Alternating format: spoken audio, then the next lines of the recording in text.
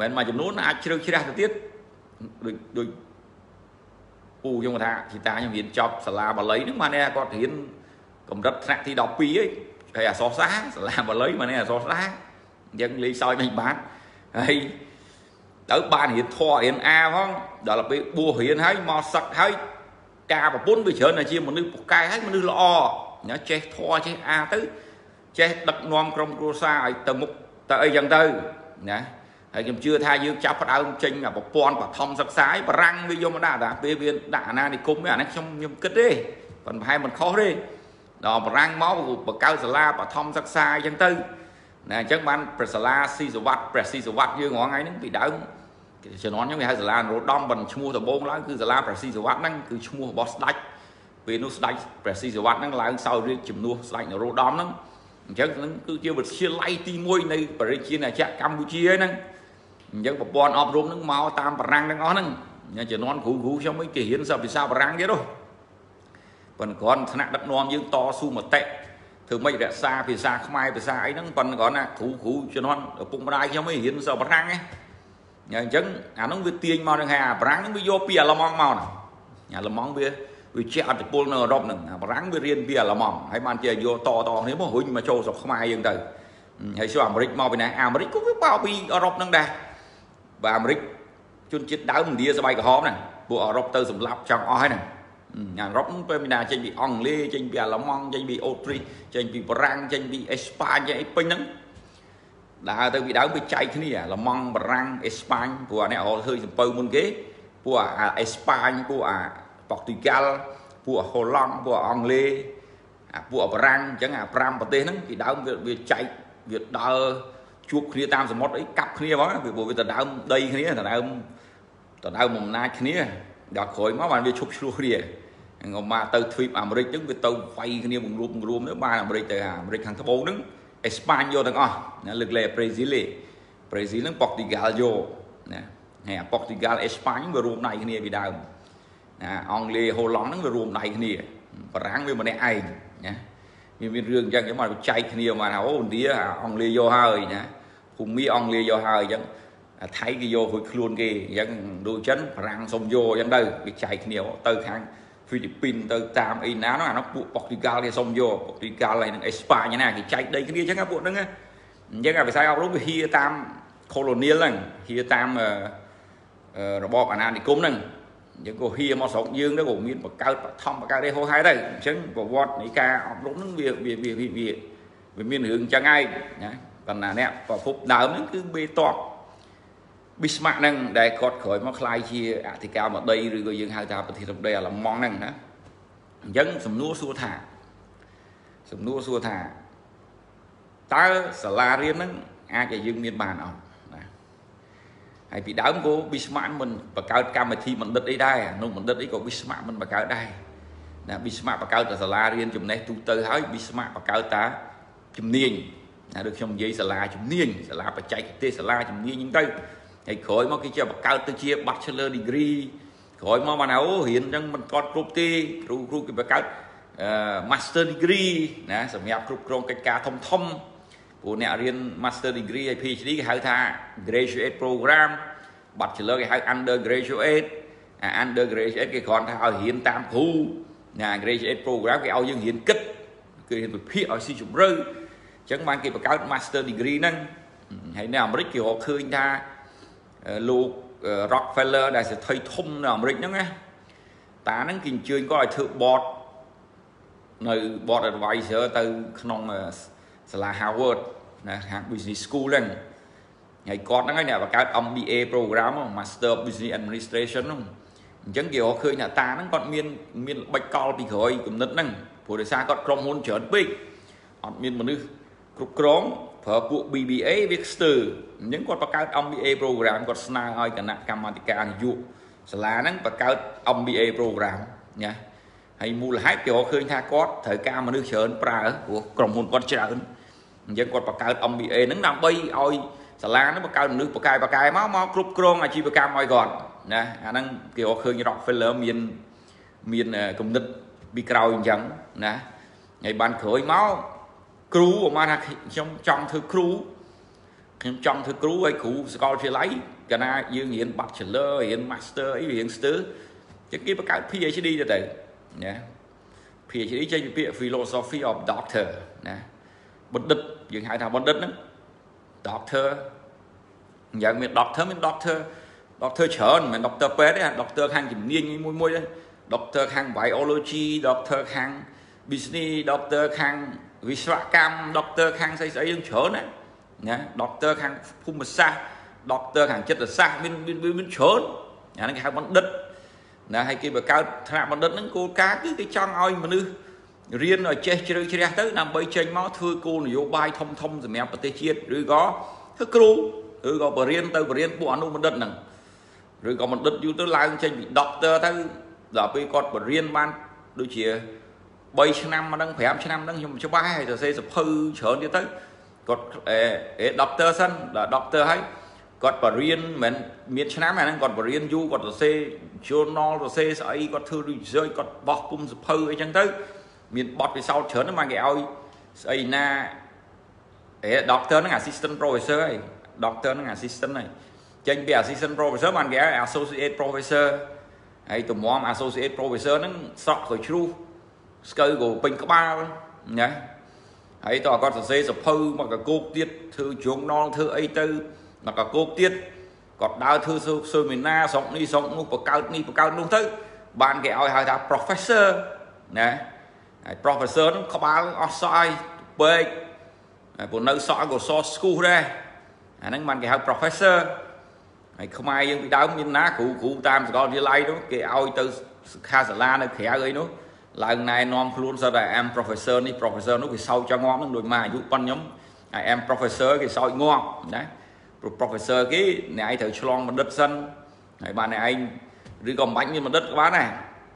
បើយើងប្រហែលមនុស្សបណ្ឌិតយើងយើងធ្វើការ full time 5ឆ្នាំនោះគេឲ្យយើង assistant professor ហើយ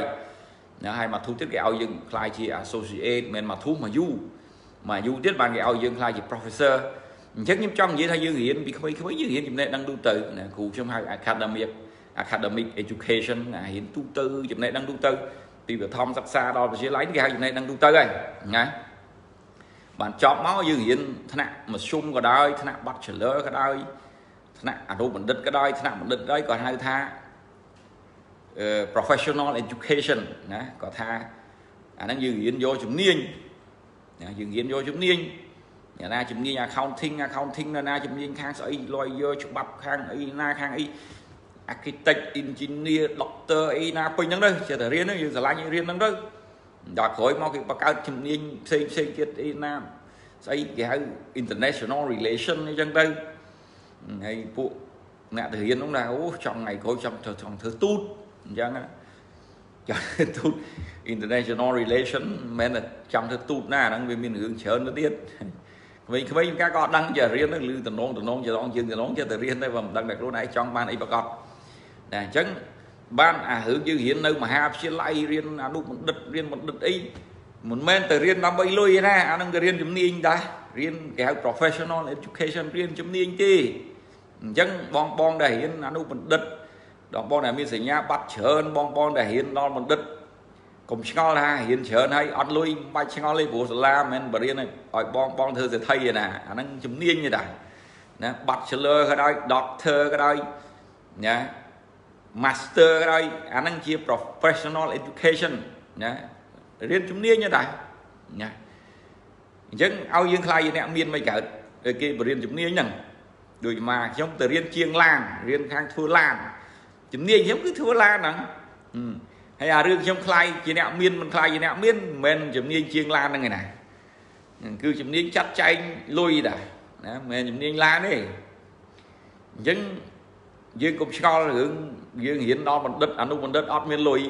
ព្រោះសាលាអត់មានទៅបរៀនយើងដើម្បីឲ្យខ្លាយជាអ្នកមានទេហើយទីមួយគ្រូយើងក៏មិនអ្នកមានដែរគ្រូយើងគ្រូយើងមិនអ្នកមានទេអញ្ចឹងបើយើងសួរគាត់ថាលោកគ្រូធ្វើម៉េចមានគ្រូដែរអញមិនដឹងដែរព្រោះ គ្រូក្រដែរនឹងឆ្លើយថាម៉េចទៅរៀនកូនសិស្សឲ្យមានមិនកើតណាអញ្ចឹងបានគ្រូខ្ញុំគាត់ debate គ្រូ Robert Kiyosaki ហ្នឹងគាត់ debate គាត់ថានៅលើពិភពលោកហ្នឹងវិស័យអប់រំមាន3ណាប៉ុន្តែលើលោកវាមានតែ2ហើយហេតុអីបាន Robert Kiyosaki គាត់ debate រឿងវិស័យអប់រំហ្នឹងរឿង financial education ហ្នឹងឪពុកគាត់បណ្ឌិត ណាហើយឥឡូវគ្រូខ្ញុំអាយុជិត70ហើយណាហើយឪគាត់បណ្ឌិតមានន័យថាបើឪគាត់នៅអាយុ100យ៉ាងតិចណាថ្ងៃបណ្ឌិតសម័យនោះណាបានឯបណ្ឌិតសម័យ70ឆ្នាំមុននោះមិនមែនធម្មតាណាណាស្រុកខ្មែរវាសឹងអត់មានបណ្ឌិតមួយបណ្ឌិត70ឆ្នាំមុនគិតមើលញ៉ាំបណ្ឌិត70ឆ្នាំមុនតាំងពី1920ហើយណា1930 940 950ចុះ នៅឆ្នាំ1950យើងរៀនបានបណ្ឌិតលុះហើយស្រុកខ្មែរមិនដឹងហៅមកយើងជាហៅបណ្ឌិតបណ្ឌិតប៉ុន្មាន PhD ដែលខ្ញុំនិយាយនេះទេហើយមិនបាន Robert គាត់ debate រឿងអារឿងអប់រំនឹងច្រើនដោយសារឪពុកគាត់ជាបណ្ឌិតហើយជា ប្រធាននាយកដ្ឋានប្រធានមន្ទីរអប់រំរដ្ឋហាវ៉ៃអញ្ចឹងមេអប់រំមករដ្ឋហាវ៉ៃឯងគ្មានណាធំជាងឪគាត់ទេសម័យនោះបានឪគាត់ស្លាប់ទៅវិញប្រូក បងប្អូនយល់ពាក្យប្រូកណាស្លាប់ទៅវិញប្រូកដាច់យ៉ៃស្លាប់ទៅវិញដោយដាច់យ៉ៃមានន័យថាខ្វះមុខខ្វះក្រោយណាហើយឪពុកគាត់តែណានិយាយរឿងលុយអត់បានទេគាត់ថាការស្រឡាញ់លុយនឹងគឺជាអំពើគួរឲ្យខ្មាស់អៀនគឺជាអំពើថោកទាបណាហើយឪពុកគាត់ថាអ្នកមាននឹងមនុស្សកេងប្រវាញ់គេឪពុកគាត់ថាអ្នកមាននឹងមនុស្សខូចគាត់ថាអ្នកមាននឹង greedy greedy កំណាញ់គាត់ថាអ្នកមានកំណាញ់ហើយគាត់ចោតអ្នកមានគ្រប់បែបយ៉ាងណាហើយគាត់ចង់ធ្វើនេះធ្វើនោះគាត់ថាគាត់មនុស្សស្អាតស្អំហ៎ចង់បង្កើតមូលនិធិជួយអ្នកក្រមូលនិធិជួយគ្រូបង្រៀនអីប៉ុន្តែមានបង្កើតអីចេញទេហើយនេះបង្កើតមិនចេញអត់លុយហើយអ្វីដែលធ្វើឲ្យ Robert ឈឺចាប់មែនទែនគឺឪពុកម្ដាយគាត់បែកបាក់គ្នាដោយសាររឿងលុយហ្នឹងគឺលែងលះគ្នាដោយសារខ្វះខាតលុយហ្នឹងអញ្ចឹងគាត់ថាទៅបរៀនសិស្សអីពុកបរៀន ខ្លួនឯងរៀនដល់បណ្ឌិតហើយណាឆ្លោះបកែកប្តីប្រពន្ធបែកបាក់គ្នាដោយសារខ្វះខាតលុយដោយសាររស់ក្នុងជីវភាពខ្វះខាតអញ្ចឹងមកគាត់គាត់ឌីបែតហ្នឹងគាត់មិនមែនទៅស្អប់វិស័យអប់រំអីទេប៉ុន្តែយើងរៀនយើងរៀនទៅប៉ុន្តែយើងរៀនអត់គ្រប់ណាគាត់ថាយើងរៀនអត់គ្រប់ដូចតកជើង3ហ្នឹងបានឈរជាប់តកតកជើង3បានឈរជាប់ជើងយើងធម្មតាយើងមានតកជើង4មិនអញ្ចឹងជើង4ឬក៏ជើង3ណាជើង3ឈរជាប់ ប៉ុន្តែបើតកយើងជើងតែ2ទេឈរជាប់ទេណាតជើងធំធំហើយតកទូចណាយើងតកវាជើង3អញ្ចឹងនៅក្នុងអាវិស័យអប់រំហ្នឹងគាត់ថាវាមាន3មានអាយើងរៀនចំណេះទូទៅផងយើងរៀនជំនាញផងប៉ុន្តែគាត់ថាយើងខ្វះអាវិស័យអប់រំខាងផ្នែកហិរញ្ញវត្ថុហ្នឹងខាងផ្នែកលុយកាក់ហ្នឹងគាត់ថាយើងខ្វះអាហ្នឹងអញ្ចឹងហើយបានយើងរៀនដល់អនុបណ្ឌិតរៀនដល់បណ្ឌិតរៀនបរិញ្ញាបត្រអីក៏នៅតែអាចប្រឈមនឹងការខ្វះខាតលុយដែរណា អញ្ចឹងមកគាត់ជំរុញថាសាលារៀនទាំងឡាយហ្នឹងគួរតែបញ្ចូលជំនាញនឹងចូលណាតាំងពីក្មេងៗបង្រៀនចូលពីគេហៅថាចំណេះដឹងខាងផ្នែកហិរញ្ញវត្ថុចំណេះដឹងខាងលុយហ្នឹងណានៅក្នុងមហាវិទ្យាល័យក៏ត្រូវទៅរៀនដែរចំណេះដឹងហិរញ្ញវត្ថុហ្នឹងណាដូចខ្ញុំធ្លាប់និយាយចឹងមានលុយគឺមានអំណាចណានៅក្នុងគ្រួសារណាមានលុយនឹងមានអំណាចហើយហើយបើយើងរៀនដល់បណ្ឌិតរៀនដល់អនុបណ្ឌិតយើងចង់បើកមូលនិធិជួយអ្នកនេះជួយអ្នកនោះបើយើងអត់លុយយើងបើកមិនចេញណា ហើយខ្ញុំច្រើនជួបចឹងជួបជួបអ្នកចេះដឹងរៀនសូត្រគាត់ចង់ធ្វើនេះធ្វើនោះប៉ុន្តែអត់លុយក៏ធ្វើមិនចេញអត់លុយក៏ធ្វើអត់ចេញទេវាអាចធ្វើចេញវាតគាត់ជុលពីតគាត់មានបញ្ញាហិរញ្ញវត្ថុតលគាត់មានជំនាញសហគ្រិននឹងដដែលហ្នឹងបានធ្វើចេញណាគាត់អត់លុយអាចធ្វើចេញប៉ុន្តែតគាត់មានជំនាញហិរញ្ញវត្ថុនិងជំនាញខាងសហគ្រិនបានគាត់ធ្វើចេញ ពួកគាត់អត់មានហិរញ្ញវត្ថុអត់មានសហគ្រិនគាត់នៅតែធ្វើអត់ចេញហ្នឹងគាត់នៅតែបានសម័យហ្នឹងដូចឪគាត់ចង់ធ្វើមូលនិធិនេះធ្វើមូលនិធិនោះប៉ុន្តែធ្វើវាអត់ចេញវាអត់លុយធ្វើអីចេញមានលុយឯណាអញ្ចឹងអមណាយើងរៀនខ្ពស់ប៉ុន្តែគេមិនបរៀនយើងវិធីបង្កើតលុយឯណាគេមិនបរៀនយើងពីវិធីជំនាញសហគ្រិនឯណាអញ្ចឹងបានយើងរៀនបណ្ឌិតអីបណ្ឌិតស្អីធ្វើកិច្ចការនោះទៅប៉ុន្តែអាលុយនៅតែខ្វះហ្នឹង យើងមកចាស់ចាស់ចង់បង្កើតមូលនិធិនេះបង្កើតចេញឥឡូវយើងមើលអ្នកអ្នកធំអ្នកចេះដឹងស្រុកខ្មែរអ្នកចេះដឹងខាងស្ថាបត្យកម្មបង្កើតមូលនិធិអីចេញខាងស្ថាបត្យកម្មណាឥឡូវអ្នកជំនាញខាងវិស្វកម្មបង្កើតមូលនិធិអីចេញអ្នកជំនាញខាងអប់រំបង្កើតមូលនិធិអីចេញណាមូលនិធិមួយដែលវាដើរហ្មងមូលនិធិមួយមិនមែនមូលនិធិដាក់តែឈ្មោះទេណាមូលនិធិនឹងមានឈ្មោះហើយមានលុយមាន ក្រុមការងារមានអ្នកជំនាញមានមនុស្សធ្វើការដូចជា organization មួយអញ្ចឹងណា ដូចជាអង្គការមួយអញ្ចឹងណាណាមិនមូលនិធិគាត់បង្កើតមូលនិធិហើយលេងមានមានតែឈ្មោះហ្នឹងมันអត់មានដំណើរការអីមួយឆ្នាំទៅចែកអង្គគេ10គីឡូទៅអាហ្នឹងឡើងមូលនិធិស្អីទេអាហ្នឹងអាហ្នឹងគាត់ថាមូលនិធិសម្រាប់គ្រួសារអ្នកមានគំនិតបកកើតល្អហើយมันមូលនិធិសម្រាប់គ្រួសារយើងតិចតួចជួយតិចតួចហ្នឹងបើគាត់ឲ្យធ្វើអីធំទលំទលាយអត់មានទេណា បកកើតតែមូលនិធិអីណាអសរសាស្ត្រខ្មែរបកកើតបកកើតវិញណាព្រោះអ្នកចង់បកកើតហ្នឹងអត់មានលុយហើយអ្នកមានលុយហ្នឹងវាអត់ involve អត់មានតំណែងតំណងជាមួយកិច្ចការហ្នឹងហើយអ្នកចង់បកកើតហ្នឹងជួនកាលជាគិតថាពួកអ្នកមានលុយនឹងចិត្តអាក្រក់ណាពួកអ្នកមានលុយបែបមិនចង់ជួយគាត់ទេអញ្ចឹងគាត់នៅតែធ្វើអត់ចាញ់ហ្នឹងណាអញ្ចឹងខ្ញុំមិញនិយាយពីប្រវត្តិនៃសាលារៀនហ្នឹងយើងបានយើងបានព័ត៌មានមួយចំនួន ណាហើយតើមហាវិទ្យាល័យវាកើតមិនយើងបានព័ត៌មានមួយចំនួនអញ្ចឹងអ្វីដែលខ្ញុំចង់និយាយ message នៃប្រធានបទថ្ងៃនេះខ្ញុំចង់និយាយថាបើយើងរៀនចំណេះដឹងទូទៅចប់យើងរៀនមហាវិទ្យាល័យអនុបណ្ឌិតបណ្ឌិតចប់យើងមានតែការអប់រំ2ទេ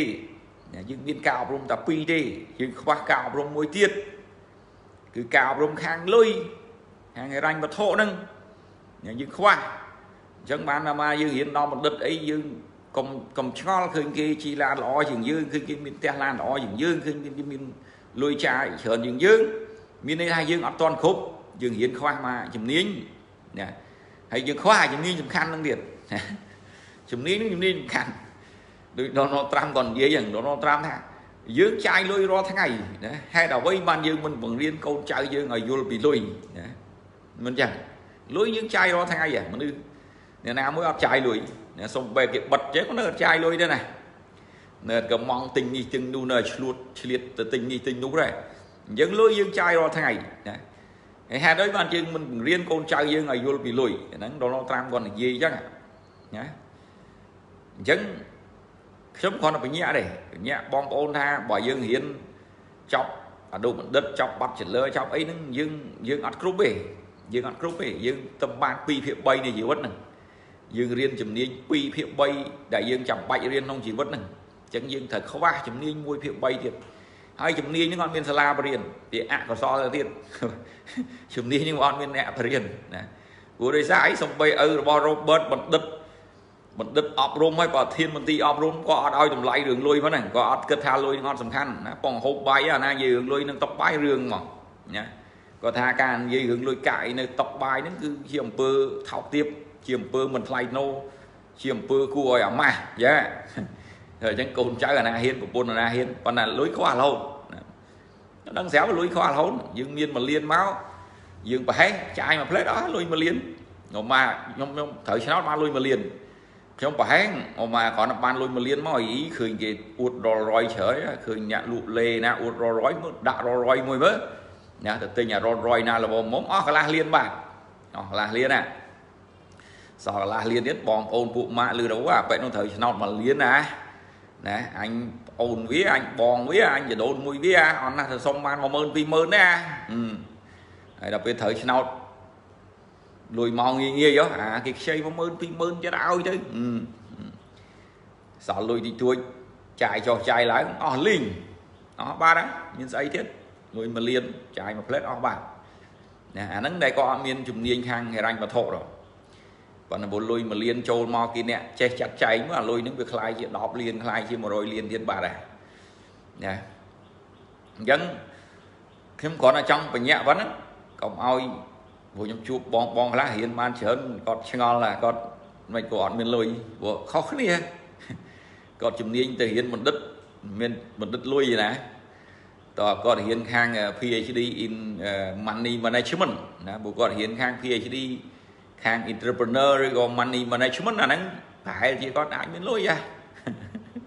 ហើយគាត់អាចមានលុយព្រោះតែគាត់ទៅរៀនជំនាញទូទៅហ្នឹងដូចជំនាញជំនាញ architect ជំនាញខ្ញុំជំនាញគេប្រើណាជំនាញខ្ញុំណាជំនាញគេប្រើបងអូគេបកែប្រើយើងណាជំនាញ architect មកខ្ញុំខ្ជិលធ្វើអន់ណាទេខ្ជិលដែរជំនាញគេប្រើដែរ គេប្រកែប្រើយើងហ្នឹងឥឡូវអូនឯងជួយគូប្លង់ឲ្យបងមួយមើលបីគូផ្ទះវិឡាឲ្យបងមួយមើលណាអូបងស្រឡាញ់ចេះស្រឡាញ់ចោះអូយហលុយអត់តនិយាយគ្នាទេណាបងស្រឡាញ់ចេះស្រឡាញ់ចុះហើយយើង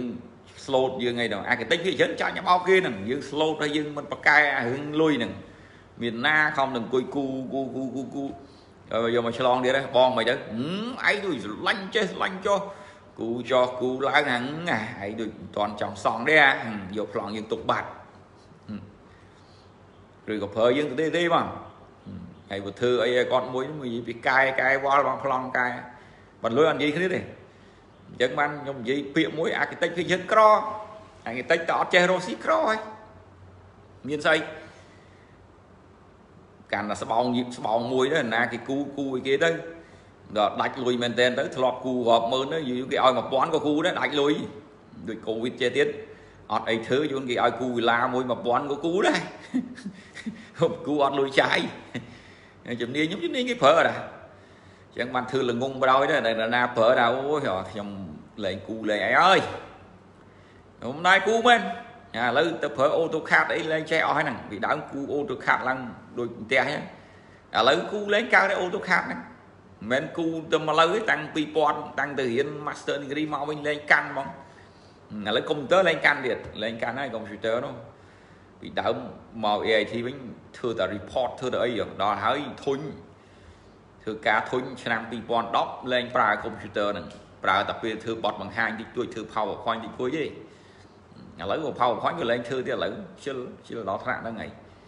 កុំព្យូទ័រលែងប្រើ បាទឥឡូវប្រើគេវាមិនដូចចិត្តអញ្ចឹងចេះនឹកចង់ឃើញចង់ប្រើតិចតួចឡើងវិញធ្វើតិចតួចប៉ុន្តែគាត់នឹងត្រូវចាំណាអ្នករៀន architect អ្នកអីហ្នឹងអាហ្នឹងជំនាញគេបោកប្រើទេជំនាញ architect នោះនៅប្រពន្ធខ្ញុំខ្ញុំថាប្រយ័ត្នប្រយែងប្រពន្ធខ្ញុំតែសញ្ញេកុងត្រាយកក់លុយគាត់20 30%មកគាត់ធ្វើណាបើថាយើងមកណាមកប្រើទៅទេទេលោកទីមួយយើង architect មិនមែនចំខ្លួនឯងណាកូនចៅគាត់ប្រហែលអ្នកហ្នឹងមួយខែមួយខែបើកលុយគេមកគោក ទៅធ្វើឲ្យ free free មិនកើតលោកណាអញ្ចឹងដល់យើងបញ្ញាអញ្ចឹងបានពួកក្បែរក្បែរខ្ញុំខ្ញុំប្រាប់អត់មានទៅគូគេ free free ទេរៀបគូទៅជែកគ្នាសិនអាគារមួយហ្នឹងត្រូវយកលុយប្រមាណឯងត្រូវបង់ប្រមាណមុនមកខ្ញុំចាប់ដើមធ្វើការណាអញ្ចឹងបានយើងចំខ្លួនរស់អញ្ចឹងចាញ់បោកគេខ្លះឃើញគូតែមួយនៅកំពង់សោមនៅសៀមរាបបាន10000ជាងហ្នឹងអ10000ជាងហ្នឹង គាត់ថាបើកឲ្យអាអ្នកគូនេះនឹងវាធ្វើការមួយឆ្នាំអស់10000ប្រាក់ខែវា1000អាកតិចលើថោកផុត500គាត់ថាក៏គូទីជួញមួយឆ្នាំលុយ10000នឹងបើកឲ្យតែបុគ្គលិកអស់ហើយថ្ងៃមួយទៀតយើងចេញចូលទៅមើលការឋានគាត់ថាបើកឡានទៅនឹងកំពង់សោមមកវិញសាំង100បាត់ហើយហើយទៅដេវតែលមកយប់អន់ផុត50ហ៎ហូបចុកបាយមួយថ្ងៃអន់ណា50 100ដែរ ទៅដល់3 4ជើងដាច់លុយបដ ாய் អញ្ចឹងបានអាគីតិចមានណាមានមួយណាលើកដៃមើលអាគីតិចណាមានខ្ញុំអត់និយាយអាគីតិចរស់ស៊ីទេនិយាយអាគីតិចតែគូប្លង់ហ្នឹងណាឥឡូវមើលលោកតាវ៉ាន់មីវ៉ាន់មើលគាត់មានលុយប្រហែលហើយគ្រូគ្រូខ្ញុំខ្ញុំស្គាល់ទាំងអស់គ្រូមុំសផាត់ណាគ្រូមៀវតីអីហ្នឹងភឿងសុភ័ណ្ឌអីហ្នឹងមានណាមានលុយភឿងសុភ័ណ្ឌហ្នឹងមានលុយគ្រាន់បើជាងគេដែរដោយសារគាត់ចេះលួចទិញដីទិញអីហ្នឹងណា ខ្ញុំមិនយើងអាគតិចរស់ស៊ីទេឥឡូវមានអាគតិចមួយចំនួនគាត់ចេះរស់ស៊ីដូចខ្ញុំដូចបងទុសភឿនអីគាត់ធ្វើកូលែនម៉ាក់ស៊ីមអីគាត់ចេះរស់ស៊ីណាឃើញពីឥឡូវឃើញគាត់ទៅធ្វើអីណាថ្មមកដុំអីនៅកែបនៅអីទៅចេះរស់ស៊ីចេះរកអីវាអាចមានលុយគាត់ថាអង្គុយតែគូប្លង់ឲ្យគេហ្នឹងអត់មានលុយទេជំនាញខ្ញុំជំនាញគេប្រើទៅទេទៅទេប្រើ free free ស្គាល់គ្នាអឺរត់ជួយគូនេះមួយជួយអឺអត់ទេអត់ទេគឺអត់ចឹងហ្មងអត់ធ្វើណាសុកចិត្តអង្គុយគូផ្ទះខ្លួនឯងណាស្កិតស្កិតហើយខ្ជិលខ្ញុំអាចទៅខ្ជិលដែរខ្ញុំចូលចិត្តតែសាមញ្ញងាយងាយមួយផ្ទះខ្ញុំសាមញ្ញងាយងាយផ្ទះសាមញ្ញងាយងាយផ្ទះចឹងខ្ជិលសាមញ្ញងាយហើយក្រូខ្ញុំក្រូខ្មែរសាមញ្ញចឹងក្រូខ្មែរមួយស៊ីម៉ង់ទៅរ កបើកមានអួយនៅលើមើលទៅឃើញជាសុភាពនៅលើដល់កន្លែងគេនៅលើកន្លែងគេនៅលើមាញ់សម្ាញ់កន្លែងគេណាមានជាងជួលឡៃឡៃជួលថៅអត់ជួលឲ្យអូឡៃគេចឹងទេទៅតែហៅអត់មានជាងទេបាទ គេហៅ architect កំជិលហែមើល design ហ្នឹងអត់មានអីស្មុកស្មាញទេមាញ់សាមញ្ញចូលចិត្តតែចូលចិត្តតែសាមញ្ញសាមញ្ញហើយតែគេប្រមូលខ្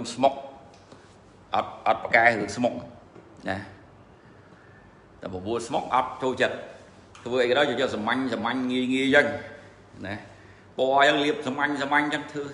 ស្រួលហើយខ្ញុំដៃគូឯងខ្ញុំ skate skate បិចខ្វាយដៃនឹងតិចតិចតិចឲ្យគេគូទេហើយយកទៅសងដែរណាប៉ុន្តែអ្នកសងហ្នឹងមកមិនយល់យើងសងទៅមួម៉ៅឥឡូវធ្វើផ្ទះថ្មីមួម៉ៅអ្នកសងមិនសូវយល់ហ៎ហើយឲ្យមើលផ្ទះហ្នឹងហើយនៅតែគាត់សងមិនមិនយល់បើបាខ្ញុំអាចតិចខ្ជិលមើលពណ៌ផ្ទះខ្ញុំឥឡូវខ្ញុំលាបពណ៌ហ្នឹងមួយ អូតែលវាលាបអាហ្នឹងអាហ្នឹងសិស្សច្បងខ្ញុំលាបទេអូតែលហើយខ្ញុំឃើញស្អាតចេះយកប្រើទៅហើយភូមិការតគុលក៏លាបពណ៌ហ្នឹងគុលវិឡាក៏លាបពណ៌ហ្នឹងផ្ទះខ្ញុំផ្ទះអីអាគារណាខ្ញុំលាបពណ៌ហ្នឹងហើយអាពណ៌ហ្នឹងជាមួយសវាស៊ីគ្នាជាមួយសស៊ីគ្នាដាក់ក្រហមតិចមកហ៎ទូទួក្រហមតិចមកវាត្រូវណាហើយតុកឈើតិចតិចអាហ្នឹងតុកចាស់ចាស់ទេខ្ញុំមិនប្រើរបស់ថ្មីរបស់ចាស់ចាស់គេបោះចោលហ្នឹងខ្ញុំទិញយកមកប្រើអាហ្នឹង ហើយគេខាត់អីឲ្យស្អាតតិចមកហើយគេអួតឈើបេងឈើអត់ឆ្លាញ់ទេខ្ញុំឆ្លាញ់តែឈើណាចេញមករៀងម្ចាស់កាចាស់ហ្នឹងมันត្រូវណាចូលចិត្តតែអញ្ចឹងអញ្ចឹងខ្ញុំនិយាយលេងប៉ុណ្ណឹងមកមកថាបងបងរៀនអីណាចេះរៀនបកែអីមិនច្បាស់មានលុយទេណាហើយគេមានការសិក្សាណាដូចនៅត្រាំសរសេរសភៅក្បាលអាហ្នឹងគាត់ថា A work for for C B work for government គេមានការស្រាវជ្រាវណា A work for C B work for government នៅសហរដ្ឋអាមេរិកគេមានការស្រាវជ្រាវអា C នេះទៅដាក់ពាក្យណាក៏ធ្លាក់ដែរណាអា A នេះទៅដាក់ពាក្យណាគេយកដែរវា A អា B នេះគេយកអានេះបាត់ហើយវាមិនដឹងទៅណាទេនេះដល់អា C នេះទៅណាគេអត់យកដែរដល់ទៅណាអត់យកជាចាប់ផ្ដៅមកស៊ីក្បិចកប៉ុកទៅធ្វើអីខ្លួនឯងទៅ ដល់វារកស៊ីក្បិចពុះវាខ្លាចវាអត់ចេះគ្រប់គ្រងអត់ចេះដឹកនាំអីដល់វាហៅអានេះមកជួយហៅ A មកជួយអញ្ចឹងមកគេហៅ A work for C អានេះអត់ហៅ B មកទេណាអានេះអត់ហៅ B មកអានេះហៅ A ដល់ B អត់កន្លែងទៅទៅរដ្ឋាភិបាលបដ ாய் ណាអានឹងនៅសហរដ្ឋអាមេរិកគេមានការសិក្សាសំត្រូវអញ្ចឹងមិនមានទេយើងរៀនបកែយើងយើងបកែគ្រប់គ្រប់រឿងឯងយើងរៀនបកែរៀនបកែអក្សរសាស្ត្របកែគណិតវិទ្យាបកែជំនាញ accounting ប៉ុន្តែយើងអត់មានជំនាញបកែខាងរស៊ីណាយើងអត់មានជំនាញបកែខាងរលុយណាតែយើងអត់មានជំនាញបកែខាងរស៊ីយើងចាញ់គេហើយណាហើយទៅដឹកនាំអីគេទៅដឹកនាំប្រទេសជាតិគេហើយណាតែអត់បកែរស៊ីស្រុកនឹងក្រងងដូចកូរ៉េយើងអត់បកែរស៊ីនឹងងាប់ចឹងទៅរុស្ស៊ីចឹងអត់បកែរស៊ីនឹងចឹងទៅភូមាអត់បកែរស៊ីនឹងហ្នឹងដែរភូមាអត់បកែរស៊ីគួយបាអត់បកែរស៊ី ប្រទេសណាដែលយើងចូលទៅក្រពិបាកអត់បកែរស៊ីអញ្ចឹងខ្ញុំឆ្លាញ់តែអ្នកដឹកនាំចេះរស៊ីទេណាអ្នកដឹកនាំចេះរស៊ីចិត្តធំណាពាក់នាឡិកាថ្លៃហ្នឹងត្រូវហើយអ្នកដឹកនាំពាក់នាឡិកាថោកមិនបាច់ដឹកនាំគេទេពាក់នាឡិកាថ្លៃណាអ្នកដឹកនាំអញ្ចឹងចិត្តធំចេះរស់ស៊ីណាគឺកោះពេជ្រកោះពេជ្រគេអភិវឌ្ឍទៅស្អាតចឹងហ្មងគេហើ យពួកយើងអត់ចេះរស់ស៊ីទុកទុកអាកោះស្មៅដោះរិចរិចតែខែទឹកឡើងឡើងលិចបាត់ទៅខែប្រាំងគេទៅដាំលពៅដាំតឡាចទៅឃើញហ៎ដល់គេចេះរស់ស៊ីកោះពេជ្រហ្នឹងទៅមកឆាប់មណ្ឌលពាណិជ្ជកម្មមួយប្រព័ន្ធណាណីឃើញហ៎ហ្នឹងអ្នកដឹកនាំចេះរស់ស៊ីណាថ្នាក់ដឹកនាំចេះរស់ស៊ីចប់ហើយថ្នាក់ដឹកនាំទៅដឹកនាំស្អីដែរដឹកនាំក្រសួងក៏ដែរដឹកនាំមន្ទីរដឹកនាំ ខណ្ឌក្រុងខេត្តអីហ្នឹងត្រូវចេះរកស៊ីណាត្រូវចេះរកស៊ីតែមានកម្រិតរកស៊ីណាដីណាទនេទៅគួរអភិវឌ្ឍមិនចាប់ដៃជាមួយឯកជនអភិវឌ្ឍវាមិនណាបើតំបន់ណាអភិរក្សគេអភិរក្សហើយបើតំបន់ណាអភិវឌ្ឍត្រូវទៅចាប់ជាមួយឯកជននឹងធ្វើការធ្វើឲ្យវាមានប្រយោជន៍ព្រោះដីយកធ្វើអីវានៅតែដីណាដីភូមិកាតកូនពួកខ្ញុំមិនធ្វើអីវានៅតែដីហ្នឹងដីហ្នឹងដីគេទុកចោលសបលាយួនហ្នឹងណា កន្លែងតិចតួចទៅគេដាំស្វាយនៅកន្លែងខ្លះគេដាំសដៃគួរទៅប៉ុន្តែដីហើយគេ90%ជាងជាដីដែលគេទុកចោលណាអត់មានធ្វើអីផងដីហ្នឹងទុកចោលខែទឹកលិចមកទុកចោលដល់ខែប្រាំងដុះបលាយួនពេញដីទៅណាដីទុកចោលអអញ្ចឹងវាជំនាញខុសគ្នាជំនាញយើងរៀនមហាវិទ្យាល័យជំនាញខាងសហគ្រិនជំនាញខាងអរញ្ញវត្ថុនឹងខុសគ្នាណាហើយជំនាញខាងអរញ្ញវត្ថុខ្ញុំនិយាយនិយាយច្រើនដងហើយណា និយាយច្រើនដងហើយអរញ្ញវត្ថុទី1ខំមកលុយឲ្យបានច្រើនណាជំនាញអរញ្ញវត្ថុហ្នឹងអញ្ចឹងបានយើងទៅរៀនសាលារៀនមហាវិទ្យាល័យអីដើម្បីអីយើងមានសញ្ញាបត្រអនុបណ្ឌិតសញ្ញាបត្របណ្ឌិតសញ្ញាបត្របរិញ្ញាបត្រអីដើម្បីឲ្យមានប្រាក់ខែច្រើនណាប៉ុន្តែយើងបានប្រាក់ខែច្រើនដល់យើងយល់ពីរឿងលុយបានប្រាក់ខែច្រើនដល់យើងប្រកែសំលុយណាហើយការពារលុយ ព្រោះបានប្រាក់ខែច្រើនមកយើងអត់ចេះការពារលុយយើងបានមកយកទៅដាក់នេះដាក់នោះអស់លីលុយនឹងឬក៏ឲ្យគេខ្ចីឬក៏ចាញ់បោកគេឬក៏វិនិយោគខុសឬក៏ទិញដេញរបស់ខុសណោះអស់ទៀតហើយលុយហ្នឹងអញ្ចឹងយើងរកលុយបានច្រើនហើយយើងត្រូវការពារលុយនឹងកុំឲ្យបាត់ណាការពារលុយហើយយើងត្រូវយើងត្រូវធ្វើម៉េចសន្សំឲ្យបានច្រើនណាការពារឲ្យសន្សំការពារផ្សេងអាសន្សំសឹងអញ្ចឹងខំមកលុយបានច្រើនការពារកុំឲ្យបាត់បង់សន្សំឲ្យបានច្រើនប៉ុន្តែសំឲ្យមិនសំទុកចោលទេមិនសំឲ្យយកទៅដាក់ធនាគារអង្គុយចាំស៊ីការប្រាក់ហ្នឹងទេណាសំហើយត្រូវយកលុយហ្នឹងទៅធ្វើម៉េចបកើលុយហើយអាហ្នឹងចាប់មែនតើយកលុយបកើលុយមិនស្រួលណាអាជំនាញយកលុយបកើលុយព្រោះសិនអាហ្នឹងស្រួលគេធ្វើអ្នកមានអស់ហើយវាអត់ស្រួលអាលុយបកើលុយអត់ស្រួលទេណាអត់ស្រួលទេ ជាងត្រូវការសិក្សាវែងឆ្ងាយតែមិនអាលុយបកើលុយហ្នឹងស្រួលទេដល់យើងបកែអង្គុយគិតណាអាលុយបកើលុយហ្នឹងតែយើងបកែអង្គុយគិតណាដូចគេនិយាយភាសាអង់គ្លេសហៅ passive income passive income ក្មេងក្មេងជ្រួលជ្រួលចំបល់អា passive income មិនស្រួលទេអា passive income ហ្នឹងណា passive income គេថាយើងមានលុយយើងដឹងពីប្រភពណាយកលុយទៅចងការគេអីបានការប្រាក់ច្រើនហើយមានសុវត្ថិភាពអាហ្នឹងហើយក៏ passive income មួយដែរណាប៉ុន្តែពិបាកណាមិនស្រួលទេណា អញ្ចឹងដល់យើងស្គាល់មនុស្សល្អល្អច្រើនមនុស្សប្រកែប្រកែច្រើនទី2ទៀត passive income យើងទៅទិញផ្ទះទិញដីមិនអាចបង្កើតលុយកើតទៀតណាអាហ្នឹងគេហៅ passive income ហើយណាទីស៊ីជំរឿរឿងកិច្ចការយកលុយបង្កើតលុយហ្នឹងមិនមែនជារឿងស្រួលទេណាមនុស្សខ្លះក៏មានបញ្ញាញាណទៅស្ដាប់មុំមុំទៅធ្វើកើតមនុស្សខ្លះមិនងាយទេមិនងាយធ្វើកើតទេណាព្រោះរឿងរឿងស្មុគស្មាញអញ្ចឹងខ្ញុំសូមបិទ ការទៅជែកប៉ុណ្ណឹងណាទី1គ្រាន់តែខ្ញុំចង់និយាយថាអ្វីទៅជាសាលារៀនណាហើយខ្ញុំនិយាយដូចខ្ញុំខ្ញុំមិនចង់និយាយថាឲ្យក្មេងៗឈប់រៀនទេណាខ្ញុំនៅតែលើកទឹកចិត្តឲ្យមនុស្សទៅរៀនអញ្ចឹងណាណាខ្ញុំឲ្យក្មួយខ្ញុំទៅរៀនណាយើងលើកទឹកចិត្តឲ្យរៀនខ្ញុំប្រាប់វាថាហើយរៀនចេះមិនចេះយកទៅរៀនទៅទី1ឲ្យស្គាល់ឲ្យស្គាល់ពួកម៉ាក់នោះបានច្រើនណា the power of alliance ណាយើងមានពួកម៉ាក់ច្រើនថ្ងៃក្រោយយើងអាចធ្វើកិច្ចការអីជាមួយអាពួកម៉ាក់នោះ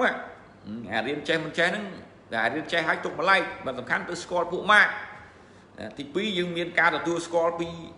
សាលាយើងនោះថាយើងពិតជាមាន bachelor degree មែន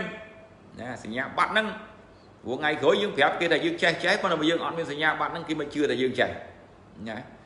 ថ្មីត្បិតដូចខ្ញុំខ្ញុំមិនដែលប្រើសញ្ញាបត្រទេខ្ញុំដាក់ការងារគេមិនដែលសួរទេសញ្ញាបត្រនោះព្រោះគេស្គាល់កន្លែងដែលខ្ញុំដាក់ហ្នឹងគេស្គាល់ខ្ញុំ អញ្ចឹងទាំងសញ្ញាបត្រ Bachelor degree ទាំងសញ្ញាបត្រ Master degree ខ្ញុំមិនដែលប្រើទេ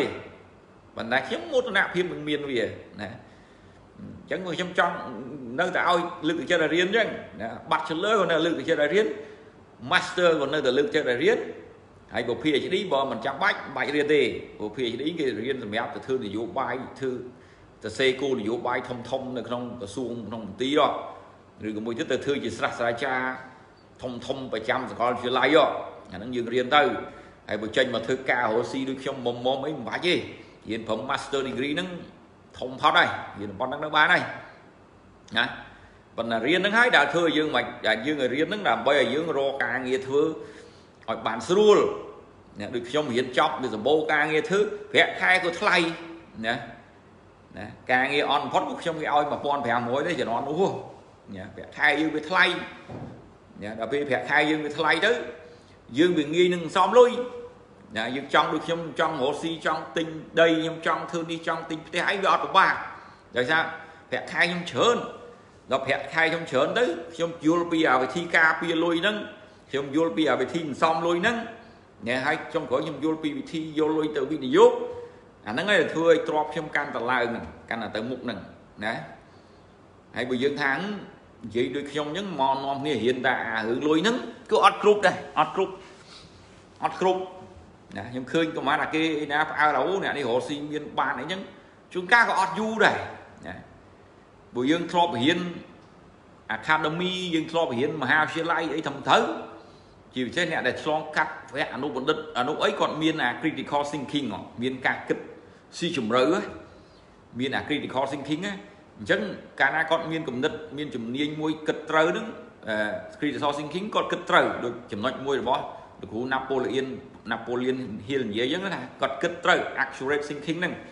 កាលណាយើងមានចំណេះដឹងទូទៅមានរៀនមកខ្ពស់យើងមានអា critical thinking ហ្នឹងល្អ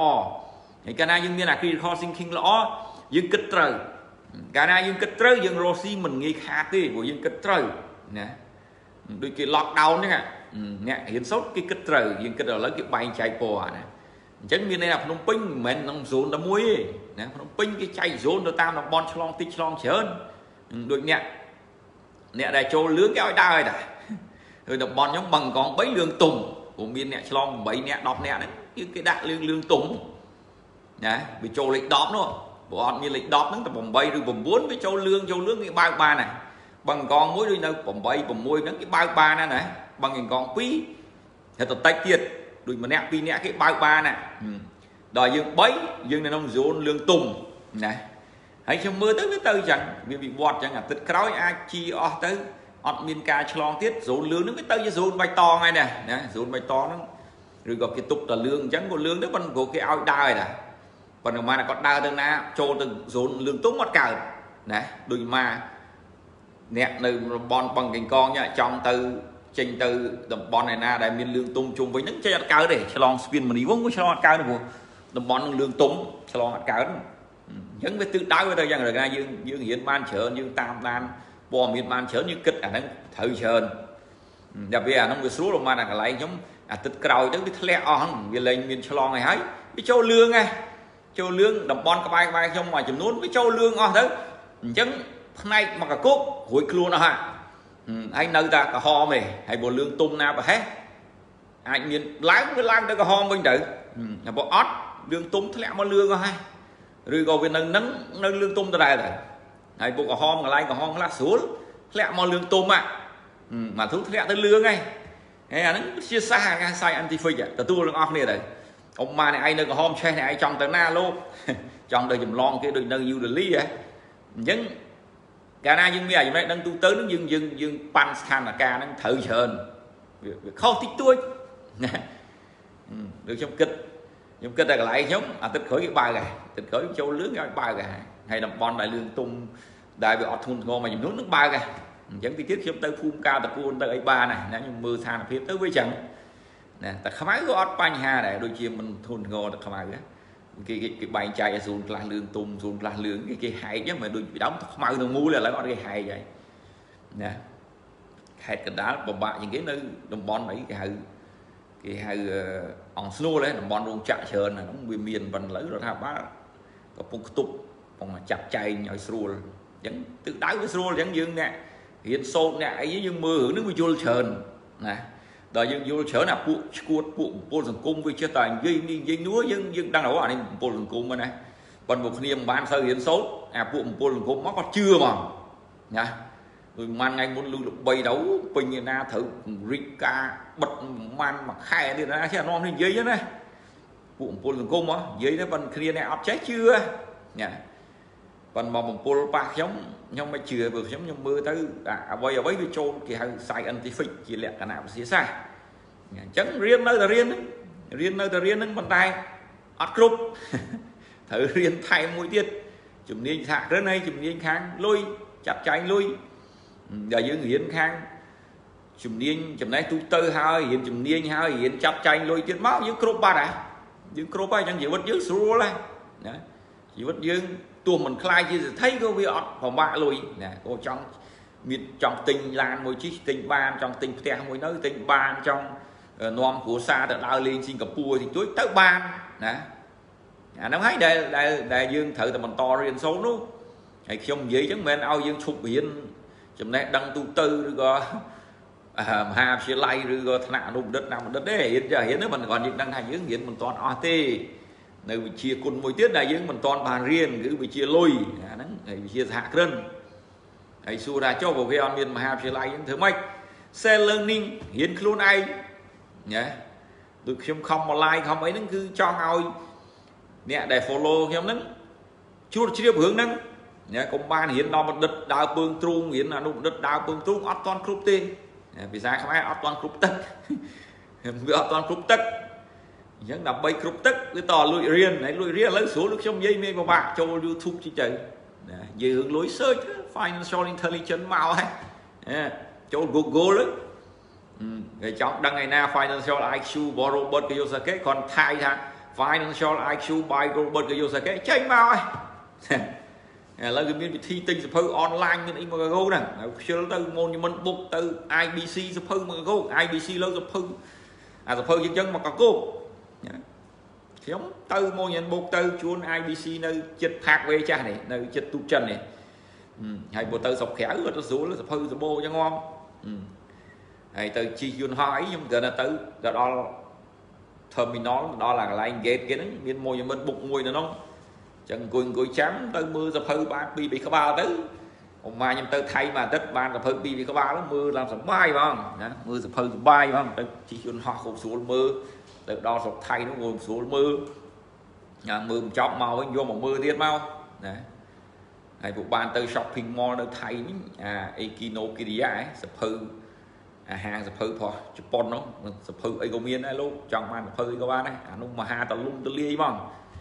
ណាហើយពួកអ្នកខ្ជិលអានមើលតាមស្ដាប់អូជូស្ដាប់តិចឬក៏មើលជា YouTube អីខ្វះអីណា ហើយសំខាន់យើងចង់ចេះយើងស្រាវជ្រាវទៅខ្ញុំក៏មិនទៅរៀនមហាវិទ្យាល័យខាងលុយដែរមានណាឆ្លងអាមហាវិទ្យាល័យលុយនឹងបអត់មានអញ្ចឹងអានឹងជាជំនាញបន្ថែមជំនាញយើងធ្វើ self learning ឬក៏ការរៀនដោយខ្លួនឯងណារៀនចុះរៀនឡើងទៅយើងយល់តិចតួចទៅយើងមានលុយហ៎ហើយពួកអ្នកស្ដាប់ខ្ញុំទី1បាច់ធ្វើអីទី1ខំមកលុយបានកាន់តែច្រើនណាប្រាក់ខែតិចធ្វើមិនឲ្យមេស្រឡាញ់ឲ្យឡើងប្រាក់ខែណាអាហ្នឹងបានណា ហើយបើធ្វើឲ្យมันឡើងមកពីជំនាញយើងអត់ចេះលួចថែមជំនាញតិចតួចទៀតវិនិយោគលើការរៀនសូត្របន្ថែមទៅដើម្បីយើងគ្រប់ទឹកដល់ពេលយើងរៀនហើយយើងខំមកលុយបានច្រើនហ្នឹងយើងការពារលុយកុំចេះឲ្យគេខ្ចីអាណិតនេះនោះអាណិតជាពិសេសអាណិតពួកតល់ហ្នឹងណាតែអាណិតពួកតល់ហ្នឹងយើងទៅដែរហើយណាជួយបានជួលឲ្យស្អីដែលយើងជួយបានទៅហើយបទពិសោធន៍របស់ខ្ញុំអត់បានកាយទេបទពិសោធន៍របស់ខ្ញុំ ជួយទៅគ្មានបានកាយទេណានឹកយើងក៏នឹកដែរវាបានតែផ្ដាច់តំណែងតំណងនេះឲ្យលើកខ្ចីទៅលុយនឹងមិនសងហើយគាត់អៀនយើងក៏មិនដើរគិតពីយើងលែងរាប់អានយើងបដ ாய் ផ្ដាច់តំណែងតំណងឯងបើលុយនឹងយើងដឹងឲ្យទៅបាត់ហ្នឹងពួកឲ្យទៅគាត់សងវិញគាត់ចេះរកមហោយើងរាប់អានយើងទៀតតែមិនពួកឲ្យទៅគាត់មិនសងគាត់លេងរាប់អានយើងបដ ாய் អញ្ចឹងអាលុយហ្នឹងដូចផ្ដាច់តំណែងតំណងអញ្ចឹងគ្មានជួយអីបានទេជឿខ្ញុំ សម្រាប់មនុស្សមនុស្សតល់ដាក់ប្រមាណក៏អស់ដែរព្រោះគាត់តល់មនុស្សតែតល់ហើយចប់ហើយគេថាទៀងមិនឈ្នះតល់អញ្ចឹងគេថាគាត់តល់ហើយគឺដាក់ប្រមាណក៏វាមិនអស់ដែរដូចដេកបែកកាហែងយើងយកទឹកទៅស្រោចអីស្រោចមិនដែរដល់យកទៅបាញ់យកឡានទឹកទៅបាញ់ហ្មងណាអញ្ចឹងយើងជួយគាត់បង្កើតទេអញ្ចឹងយើងសំយើងការពារយើងសំខំសំឲ្យបានច្រើនហើយសំហើយកុំឲ្យយកលុយទុកមកកន្លែងយកលុយទៅរកស៊ីឲ្យយើង ណាដើម្បីយើងរកស៊ីឲ្យយកលុយរកស៊ីឲ្យយើងក៏យើងស្គាល់គេអ្នកបកែបកែអែបអែបគេទៅណាដូចអ្នកមាននៅបាប៊ីឡុននេះគាត់យកទៅផ្ញើអ្នកអ្នកផ្ញើជាងមាសផ្ញើអ្នករកស៊ីមាសដែរគាត់មិនផ្ញើអ្នកស្លកអត់ទៅទិញត្បូងទេណាផ្ញើអ្នកស្លកអត់ទៅទិញត្បូងខាតអស់លេងលុយហ្នឹងអញ្ចឹងគាត់យកទៅផ្ញើអ្នកបកែបកែណាយកទៅផ្ញើអ្នកបកែបកែហើយបើអត់មានកន្លែងផ្ញើយកផ្ញើខ្ញុំខ្ញុំទទួលយកទាំងអស់ ថ្ងៃមុនខ្ញុំនឹកឃើញខ្ញុំសម្ភារមួយបងអោមសេងបូរ៉ាគឺថាបានលុយឲ្យយកទៅណាទៀតទៅខ្ញុំថាបាយពិបាកវិញយកមកផ្ញើខ្ញុំមកណាអញ្ចឹងអាហ្នឹងជំនាញលុយយើងស្រាវជ្រាវទៅទៀតទៅព្រោះជួនកាលខ្ញុំនិយាយក៏វាមិនក៏យើងមិនពិបាកមិនងាយស្ដាប់ងាយយល់ដល់យើងសាកណាដូចយើងរៀនជិះឡានអញ្ចឹងដល់យើងសាកបើកឡានវាមិនដែរណាយកសភៅមកមើលអូវិធីបើកឡានទៅចេះទេជិះកង់អញ្ចឹងដែរយើងត្រូវឡើងជិះកង់ហ្មងឲ្យដួលខ្លះ បែកជង្គង់ខ្លះដែរបានយើងចេះយើងយកសភៅមកអានវិធីជិះកង់មិនជិះមិនចេះជិះជិះម៉ូតូអញ្ចឹងដែរយើងយកសភៅមកអានពីវិធីជិះម៉ូតូអត់ចេះជិះទេតឡើងជិះហ្មងដួលខ្លាយខ្លះទៅខ្ញុំថ្ងៃមួយនឹងដួលបកាច់បកិននៅមុខសាលានំហ្នឹងពួកម៉ាក់ឯណាគេទៅហោមើលនាងនាងហ្នឹងខ្ញុំជិះពីក្រោយគេយកទៅមួយគេទៅដល់ពេលចេញមកវិញមិនទេគេគេដូមម៉ូតូមិនណារត់បើកម៉ូតូយើងទៅមិនចេះជិះទីទីយក ជន់អីធាក់ផាំងជន់ហ្គាប៉ប់ងួលផាំងហោះវិលហ្នឹងខ្មាស់គេយ៉ាងងំសិស្សគេពងចេញពីសាលាផងដួលប្រហែលដងនោះចេះជិះហើយ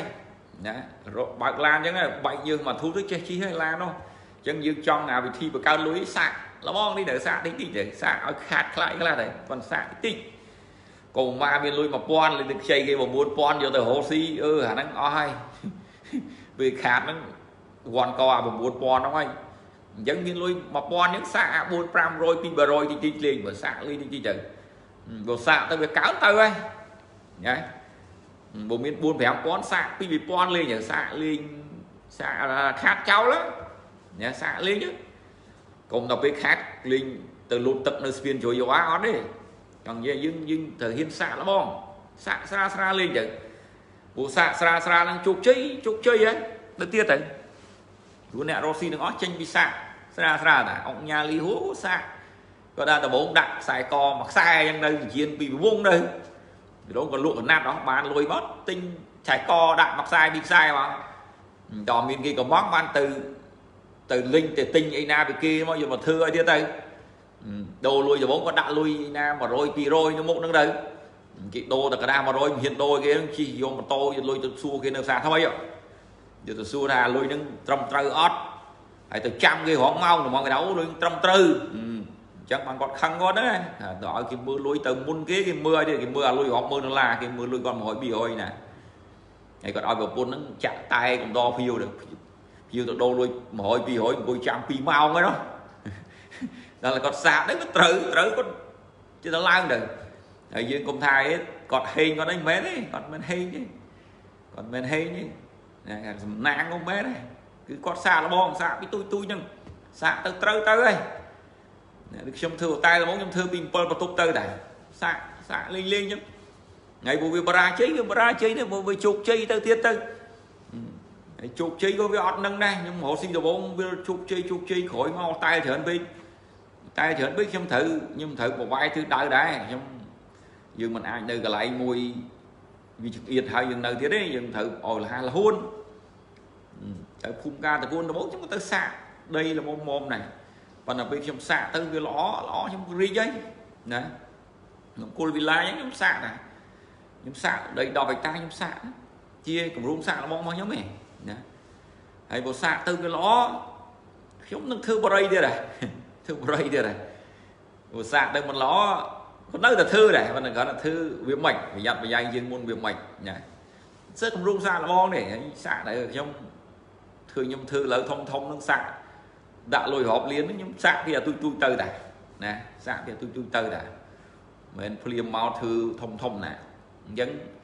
អារឿងយកលុយបង្កើតលុយហ្នឹងមិនជារឿងស្រួលប៉ុន្តែយើងសាក់លេងយើងខ្លួនណាចេះអីសាក់ហ្នឹងទៅអ្នកណាជំនាញខាងចងការលុយសាក់ចងការលុយទៅណាជំនាញខាងប្រចាំសាក់ប្រចាំទៅអ្នកណាជំនាញខាងជួញដូរអីមួយសាក់ជួញដូរហ្នឹងទៅញ៉ាឧទាហរណ៍ថា ជួញដូរលក់ទុរេនអញ្ចឹងសាក់ទុរេននឹងសាក់លេងទៅណាព្រោះថាយើងចង់ជួញដូរសាក់លក់អីគេមួយហ្នឹងសាក់ហ្នឹងទៅសាក់ហ្នឹងទៅយើងសាក់ទៅសាក់ទៅវាដើរធ្វើទៀតទៅព្រោះមកអ្នកចង់ធ្វើផ្ទះជួលអញ្ចឹងខ្លះគាត់មានដីមានអីចង់ធ្វើផ្ទះជួលមួយខែ50 100 200យើងសាក់លេងទៅយើងសាក់ដបង5 6បន្ទប់មានលុយច្រើននេះសាក់10បន្ទប់ទៅហើយបើសាក់ត្រូវបរិយទៀតទៅ ហើយភាសាមិនត្រូវមើលឡើងវិញមិនវាមិនត្រូវណាមិនវាមិនត្រូវអាហ្នឹងវិញជាជាលបែងរបស់អ្នកមាននោះអ្នកមានគេសាក់គេអត់មានធ្វើអីមួយនៅនឹងថ្កល់ទេគេសាក់គេសាក់លបងវាសាក់ឲ្យបូបូបូខាតគេរៀនគេលួចមើលវាមិនបានខាតណាហើយបើសាក់ឲ្យចំណេញគេយ៉ាត្រូវទៅទៀតទៅទៀតយ៉ាងម៉េច គេហៅគេហៅ scaling up ណាឬក៏ duplicate វាពង្រីកវាមិនពង្រីកវាមិនអាហ្នឹងជាលបាយអ្នកមានហើយអ្នកមានគេធ្វើតែចឹងហើយយើងគេឃើញគេអ្នកមានចេះស្គាល់អាពួកហ្នឹងមានមែនអាហ្នឹងគេសាក់លងលបាយហ្នឹងគេសាក់លបងអាលបាយអ្នកមាននឹងសាក់ទៅវាត្រូវសាកត្រូវគឺជាត្រូវទៅទៀតដែរដូចញ៉ាំបងប្អូននោះចេះតែចង់ឲ្យខ្ញុំនិយាយរឿងអា green house 3 green house trade 3 green house into red hotel គាត់លាក់ឲ្យឈ្មោះលាក់ចេះចង់ចង់និយាយរឿងហ្នឹងខ្ញុំនិយាយជាទស្សនៈខ្ញុំទេព្រោះគ្រូក៏អត់បញ្យល់ដែរ rich dad គាត់និយាយ trade trade 3 green house into one red hotel ញ៉ែគាត់ថាឲ្យយកផ្ទះ3ផ្ទះបៃតង3ហ្នឹងយកទៅបង្កើតទៅជាសន្តាគារពណ៌ក្រហមមួយគាត់និយាយតែប៉ុណ្្នឹងឯងមិនគាត់មានការបកស្រាយទេណា ហើយបើឲ្យខ្ញុំបកស្រាយវារបៀបអញ្ចឹងរបៀបបូនីបូនីត្រង់បើន័យត្រង់អ្នកឯងយកផ្ទះ3ហ្នឹងទៅផ្ទះល្វែង3ហ្នឹងយកកែវាទៅជាហូតែលទៅព្រោះផ្ទះល្វែង3ហ្នឹងក៏បានតែយើងជួលក៏បានមិនសូវថ្លៃណាព្រោះយើងនៅក៏វាអត់បានលុយណាព្រោះអ្នកឯងបង្កើតជាហូតែលយកអា3ហ្នឹងបង្កើតជាហូតែលអាហ្នឹងបានលុយហ្នឹងឃើញទេបានលុយជួលពីភ្ញៀវអាហ្នឹងនៃនៃនៃចំ ហើយបងប្អូននៃធៀបវិញនៃធៀបវិញគាត់ឲ្យយើងធ្វើពីទុយទុយទៅណាអ្នកឯងមានលុយទិញផ្ទះមួយសិនមកមានលុយបរិចមួយទៀតទៅមានលុយបរិចទៅពេលដែលអ្នកឯងបានផ្ទះ3អ្នកឯងកែអាផ្ទះ3ទៅជាហូតែលទៅរបៀបអញ្ចឹងរបៀបចង់និយាយថាយើងសាកពីទូចទូចទៅសិនពេលដែលទូចទូចនឹងវាជោគជ័យហើយយើងអាចធ្វើធំកើតដែរចឹងបើយើងអត់លួចភ្លាមយើងនិយាយរឿងហូតែលអានឹងវាធំដុំ ណាអញ្ចឹងអ្នកឯងគិតទៅពីកូនផ្ទះសិនមកទិញផ្ទះមួយសិនមកដល់អ្នកឯងមានលទ្ធភាពទិញផ្ទះមួយអ្នកឯងអាចមានលទ្ធភាពទិញផ្ទះពីរអ្នកឯងមានលទ្ធភាពទិញផ្ទះ3ពេលដែលអ្នកឯងមានលទ្ធភាពទិញផ្ទះ3ហេតុអីអ្នកឯងមិនឆ្នៃអាផ្ទះ3នឹងឬក៏អ្នកឯងលក់ផ្ទះ3នឹងចោលទៅយកទៅលុយទៅទិញហូតែលមួយទៅអ្នកដែលមានតម្លៃប្រហាក់ប្រហែលនឹងអាផ្ទះ3នឹងព្រោះផ្ទះវានៅតែជាផ្ទះឬក៏ជួលក៏បានថ្លៃដែរផ្ទះល្វែងប៉ុន្តែអ្នកឯងទៅទៅបង្កើតហូតែល ហូតែលហ្នឹងបង្កើតចំណូលឲ្យអ្នកឯងរាល់ថ្ងៃណាតែក្មេងៗនិយាយរឿង passive income ហ្នឹងណាហើយបន្តបង្កើតត្រូវទៀតញ៉ាអូតែហ្នឹងកើតត្រូវទៀតដែរដល់បង្កើតមិនត្រូវនៅតែអត់លុយហ្នឹងញ៉ាអ្នកខ្លះធ្វើតែតែមិនអត់លុយតែគាត់វាចូលទៅវាអត់គួរជាទីរស់នៅណាដូចយើងទៅខេត្តទៅអីហ្នឹងរតែមួយណានៅស្រួលបួនបានទេណាទៅតាមខេត្តដែរវាសម្បូរតែរបៀបអូតែផ្ទះល្វែង របៀបស្ទីលស្ទីលអូតែចូលទៅឯងសិតតែការ៉ូចូលទៅពណ៌លឿងលឿងចូលទៅពីដានឯងសិតក្បាច់សិតឈីនោះចូលទៅអាគារទៅអាគារទៅអាកន្លែងចតឡានសិតបេតុងទៅរដើមឈើរសួននេះណាឲ្យស្រួលភ្នែកមើលទៅបើអត់មានអញ្ចឹងចឹងអាកំណត់ trade from 3 greenhouse into one red hotel ហ្នឹងខ្ញុំយល់ថាអញ្ចឹងណាខ្ញុំយល់ថាអញ្ចឹងណាអាហ្នឹងជីវិតរបស់គាត់ណា គាត់ទិញផ្ទះមួយហើយគាត់រីកផ្ទះ2រីកផ្ទះ3ក្រោយមកគាត់យកអាផ្ទះ3នឹងបង្កើតទៅជាសន្តាគារមួយណាសន្តាគារនឹងវាចូលលុយរាល់ថ្ងៃណាអាហ្នឹងវាធ្វើឲ្យគាត់កាន់តែមានលុយច្រើនទៅច្រើនត្រូវណាហើយផ្ទះ3ហ្នឹងចេញពីផ្ទះមួយហ្នឹងតែគាត់មានផ្ទះមួយឯងគាត់អាចទិញផ្ទះមួយទៀតបានហើយណាគាត់យកអាផ្ទះគាត់ទៅដាក់ធនាគារក៏បានយកអាផ្ទះថ្មីទៅដាក់ធនាគារក៏បានទិញផ្ទះនឹងបានហើយណា គាត់ចង់និយាយរបៀបអញ្ចឹងហើយយើងរត់ស៊ីគាត់ចង់ឲ្យយើងសាកពីលបទូចតាចសិនទៅសាកលបទូចតាចសាកវាបន្តិចបន្តិចបន្តិចទៅយើងធំទៅធំទៅហើយណាអញ្ចឹងបានយើងភ្លាមភ្លាមយើងកុំចង់ទៅលឿនអញ្ចឹងសរុបមកប៉ុណ្ណឹងវា1ម៉ោងកន្លះខ្ញុំសរុបប៉ុណ្ណឹងសរុបមកបងប្អូនរៀនសូត្រនៅតែរៀនសូត្រទៅយើងយុវយុវជនយើងអ្នករៀនមហាវិទ្យាល័យរៀនមហាវិទ្យាល័យទៅហើយយោបល់ខ្ញុំនៅតាមចង់ឲ្យរៀនដល់អនុបណ្ឌិតដល់អីណាយោបល់ខ្ញុំ ណាដើម្បីឲ្យយើងមានចំណេះដឹងទូលំទូលាយដើម្បីយើងគិតត្រូវដើម្បីយើងមានចំណេះដឹងមួយគេហៅថា accurate thinking ណាធ្វើឲ្យយើងគិតត្រូវណាដល់ឲ្យយើងគិតត្រូវយើងវិនិយោគយើងអីទៅវាមិនសូវខុសប៉ុន្តែអ្វីដែលខ្ញុំចង់និយាយថ្ងៃនេះខ្ញុំគ្រាន់តែចង់ថាវិស័យអប់រំនឹងគេបង្កើតដើម្បីអីដើម្បីឲ្យយកមនុស្សទៅធ្វើការឲ្យគាត់ទៅមានអត់មានមនុស្សមើលកូនបង្កើតសាលាសម្រាប់កូន កូននឹងឲ្យវាបឋមទៅវាមានបឋមសិក្សាចេញពីបឋមសិក្សាចូលអនុចេញអនុចូលវិទ្យាល័យចេញវិទ្យាល័យចូលជំនាញអញ្ចឹងទៅប៉ុន្តែអ្វីដែលខ្ញុំចង់និយាយខ្ញុំថាបើយើងចេះតែពីរហ្នឹងក៏វាអត់គ្រប់ដែរអ្វីត្បិតតែវិស័យអប់រំវាសំខាន់ណាស់សម្រាប់ជីវិតរបស់យើងសម្រាប់យើងចិញ្ចឹមជីវិតប៉ុន្តែអាវិស័យអប់រំទាំងពីរហ្នឹងมันអាចធ្វើឲ្យយើងមានបានបានទេណាអញ្ចឹងអ្នកដែលចង់មានបានឬក៏អ្នកដែលមានមហិច្ឆតាចង់បង្កើតនេះបង្កើតនោះ ចង់ជួយសង្គមចង់បង្កើតមូលនិធិនេះមូលនិធិនោះចង់ធ្វើអីឲ្យវាគេហៅ something extra ណាធ្វើអីឲ្យវាពិសេសជាងគ្រាន់តែយើងទៅធ្វើការមកផ្ទះធ្វើការមកផ្ទះយើងចង់បង្កើតស្អីណាមួយអាហ្នឹងយើងត្រូវមានជំនាញផ្សេងមួយទៀតគឺខាងអប់រំខាងហិរញ្ញវត្ថុឬក៏សហគ្រិនភាពហ្នឹងតើយើងចេះសហគ្រិនភាពតើយើងចេះខាងជំនាញខាងហិរញ្ញវត្ថុ បានយើងយកចំណេះដឹងទូទៅយកចំណេះដឹងជំនាញយើងដែលយើងរៀនបរិញ្ញាបត្ររៀនអនុបណ្ឌិតរៀនបណ្ឌិតហ្នឹងមកធ្វើកិច្ចការដែលយើងចង់ធ្វើហ្នឹងបានជោគជ័យណាខ្ញុំនិយាយពាក្យថាជុកជុក the magic ladder to success ហ្នឹងឬក៏យើងបង្កើតបរៀមដៃ5គ្រូ Donald Trump ហើយ Robert Kiyosaki ទៅអញ្ចឹងយើងជប់ស្អីមួយចេញបើមិនអញ្ចឹងទេយើងយើងជប់អត់ចេញទេយើងជប់អត់ចេញទេយើងចេះតែចង់ណា វាឪពុឪពុក Robert ចង់នេះចង់នោះប៉ុន្តែធ្វើអត់ចេញព្រោះវាអត់លុយណា money is power លុយគឺជាអំណាចហើយ money វាកើតពីបញ្ញាហិរញ្ញវត្ថុកាលណាយើងមានបញ្ញាហិរញ្ញវត្ថុយើងបង្កើតលុយបានណាកាលណាយើងបង្កើតលុយបានអាហ្នឹងយើងអាចជប់ណាអមថាយើងជំនាញច្រើនដូចបងពេទ្យថ្មិញទឹកហុងយូអញ្ចឹងគាត់គាត់ដុកទ័រថ្មិញ dentist ណាបើគាត់អត់ចេះអាជំនាញលុយអត់ចេះអីហ្នឹងគាត់បង្កើតពេទ្យរំចង់មកចាញ់ណាហើយសួរពេទ្យនៅស្រុកខ្មែរប្រហែលដែលអាចបង្កើត clinic អស្ចារ្យដូចគាត់ចឹងកើតឃើញទេហើយមិនច្បាស់ថាទឹកហុងយូនឹងគាត់មានលុយច្រើនជាងគេទេបងទឹកហុងយូនោះវាអាចមានដុកទ័រធ្វើមានលុយច្រើនជាងគាត់មករោគទេប៉ុន្តែកាលធ្វើអត់បានដូចគាត់ណាដោយសារគាត់មានអាជំនាញ finance គាត់មានអាជំនាញខាងសហគ្រិននឹងខ្លាំងអញ្ចឹងគាត់គាត់ជប់ អា clinic គាត់នឹងឲ្យអស់ចាហើយអញ្ចឹងគាត់គឺមោទនភាពឯគេគាត់ហើយដុកទ័រថ្មិញណាបង្កើត clinic បានមួយអីគាត់គាត់មោទនភាពគាត់ណាណាក្នុងឋានៈដែលដុកទ័រ dentist មកកគុកធ្វើអត់បានដល់គាត់ណាហើយពួកអ្នកដែលធ្វើមិនបានដល់គាត់គុំចំណែនគាត់ណាមានន័យជួនកាលយើងចេះជំនាញធ្មុញយើងខ្លាំងជាងគាត់អាចខ្លាំងជាងគាត់ប៉ុន្តែអាជំនាញសហគ្រិនហ្នឹងជំនាញ final ហ្នឹងចាញ់គាត់យើងគាត់គាត់បង្កើតបានមុន ណាគាត់ទៅមុនហើយ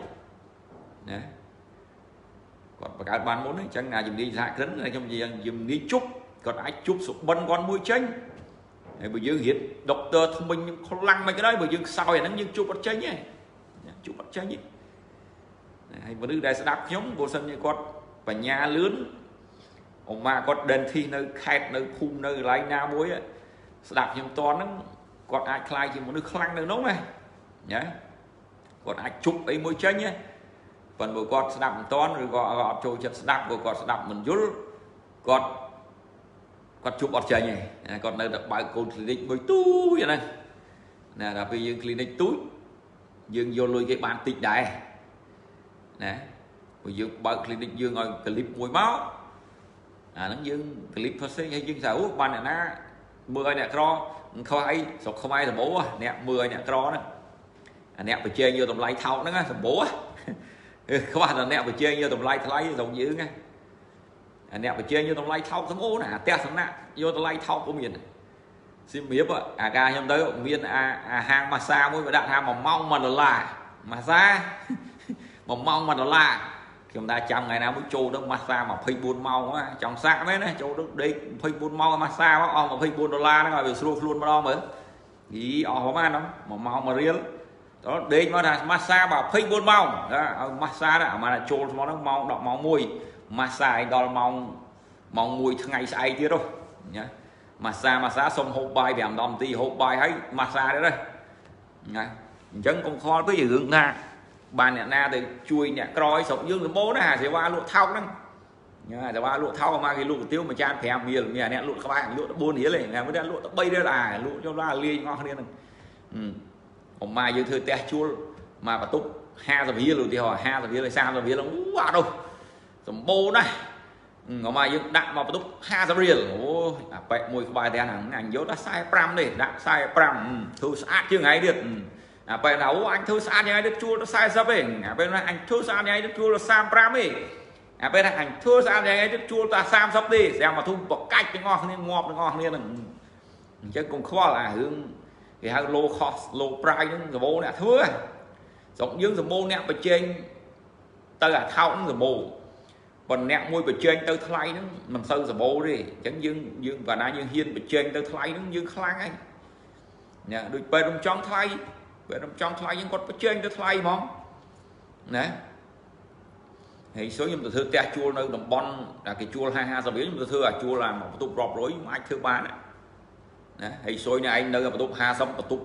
បើប៉ុណ្ណានេះ